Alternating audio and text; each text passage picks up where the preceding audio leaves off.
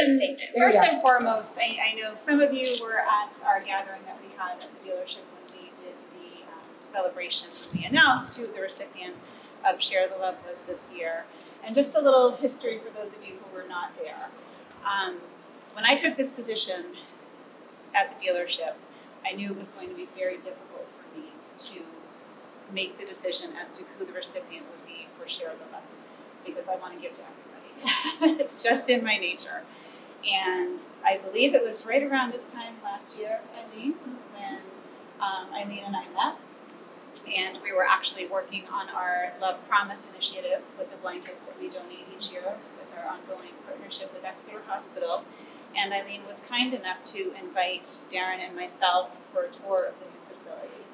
And I'm sure Eileen remembers, we've been touched by so many people in our community, within our family, who've been impacted by cancer.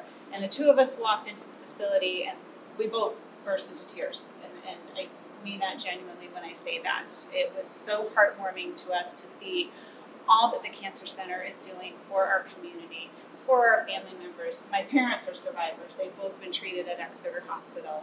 So many friends and family. One of our very own team members, our family members at the dealership, has been assisted by Exeter Hospital. So when we walked in, and I talked to Eileen a little bit more about Beyond the Rainbow, and I learned more about Beyond the Rainbow's mission, the vision of Carrie's sister Anne Marie. I knew then and there that this was who we needed to select for as our recipient for Share the Love. The work, the tremendous work that you are all doing for our community is outstanding. And we simply hope that this donation will continue to carry on the legacy of Anne Marie and her vision that she had for Exeter Hospital and the Beyond the Rainbow Fund. And it's truly our privilege to present this donation on behalf of both um, Exeter Subaru and Subaru of America.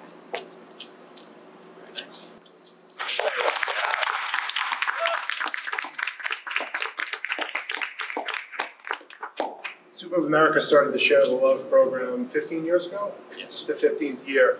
Um, it was good at the beginning, but then when they allowed us to partner with local charities, it became great. Um, quite honestly, Brian asked me earlier, have we partnered with um, Beyond the Rainbow Fund before? And I said no, because I like to choose and we like to look at different opportunities to really truly share the love. Uh, we couldn't be happier to be able to give $23,000 today. We know that's going to go to many families, many people. And it's a large amount of money that Subaru of America is partnering us with to be able to offer that here today. Thank you. What a fabulous story that you just shared with us. And it is the stories that connect us, it's the people that connect us. So thank you to the legacy that your sister has brought to our organization. Thank you for taking the time to get to know us better. Um, thank you for sharing your personal story.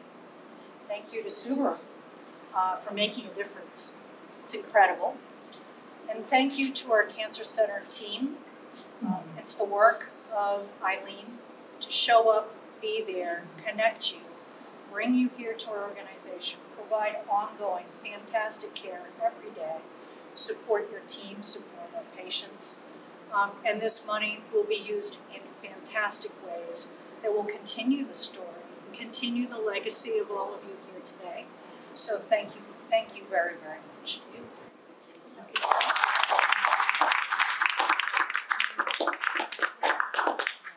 Um, I wanted to just, just acknowledge, um, the first time we met and the many times since that, that we have talked and we've also been invited to Exeter Subaru to get to know the staff there, the team there.